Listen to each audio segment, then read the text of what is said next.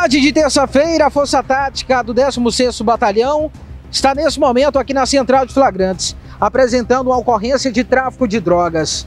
Jovem de 19 anos de idade preso em flagrante na comunidade Padre Maria.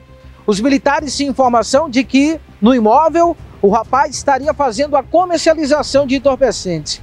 Diante das informações, as equipes do tático foram averiguar.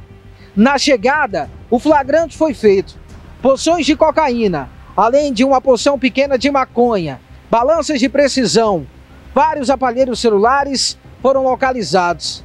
A droga também era vendida no cartão de crédito. Ele usava uma máquina para poder fazer a venda da droga. Só que acabou caindo nas mãos da Força Tática do 16º Batalhão. E o caminho foi esse. A Central de Flagrantes.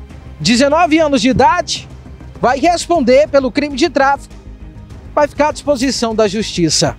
É um prejuízo para o tráfico na região de São Gonçalo. A Força Tática pede que a população continue enviando denúncias anônimas através do zap da Força Tática, que é este número, está aparecendo na tela. A denúncia é importante, porque a polícia tira de circulação quem está cometendo ilícitos na região de São Gonçalo. Força Tática, 16º Batalhão.